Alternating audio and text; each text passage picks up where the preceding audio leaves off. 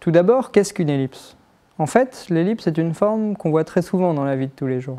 Chaque fois qu'on prend un objet circulaire, comme une assiette, et qu'on la regarde de façon inclinée, la forme ovale que l'on voit est une ellipse.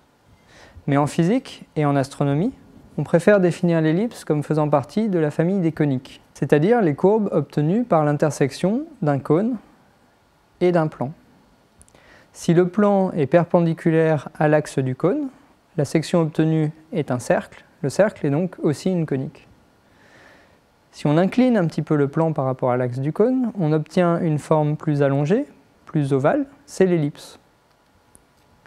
Quand on continue à incliner le plan, quand le plan a exactement la même inclinaison que le bord du cône, la courbe cesse d'être fermée et on obtient la parabole avec deux branches qui s'étendent jusqu'à l'infini. Et quand on incline encore un peu plus le plan, la courbe reste ouverte mais sa forme change.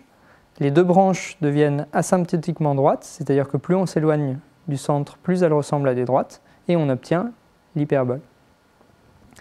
On a donc quatre coniques, le cercle, l'ellipse, la parabole, l'hyperbole. Deux sont des courbes fermées, le cercle et l'ellipse, et deux sont des courbes ouvertes, la parabole et l'hyperbole. La parabole et l'hyperbole seront peu utilisées dans la suite du cours.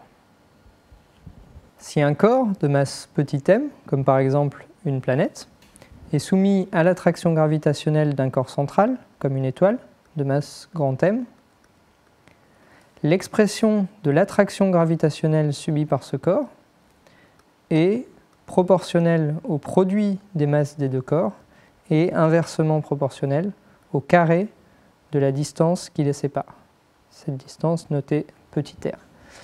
Et la constante de proportionnalité est une constante universelle, c'est la constante de gravitation ou constante de Newton.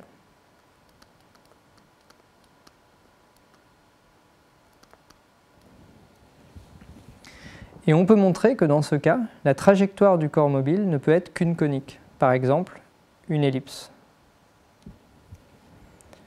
On en verra la démonstration la semaine prochaine. En fait, c'est vrai plus généralement pour toute force qui soit à la fois centrale, c'est-à-dire toujours dirigée vers un point central fixe, et en 1 sur R2, c'est-à-dire inversement proportionnelle au carré de la distance au centre. Dans ce cas, les trajectoires sont toujours déconiques. Par exemple, la force électrostatique de Coulomb, qui s'exerce entre des corps électriquement chargés, est aussi en 1 sur R2.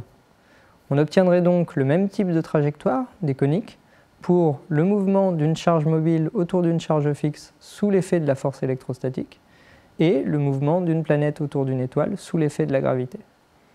Parmi les coniques, on a vu qu'il y avait des courbes fermées, l'ellipse et le cercle, et des courbes ouvertes, l'hyperbole et la parabole. Les courbes ouvertes correspondent au cas où le corps a suffisamment d'énergie pour échapper à l'attraction du corps central. Il peut donc s'en éloigner indéfiniment. Les courbes fermées correspondent au contraire au cas où le corps n'a pas suffisamment d'énergie pour s'échapper et est donc piégé autour du corps central. C'est le cas des planètes, des satellites naturels et artificiels, et on appelle orbites ces trajectoires fermées. Et c'est sur ces orbites que vont porter les lois de Kepler, dont nous parlerons la semaine prochaine. Pour pouvoir décrire précisément ces orbites, on va maintenant étudier la géométrie des ellipses, le cercle n'étant bien sûr qu'un cas particulier d'ellipse.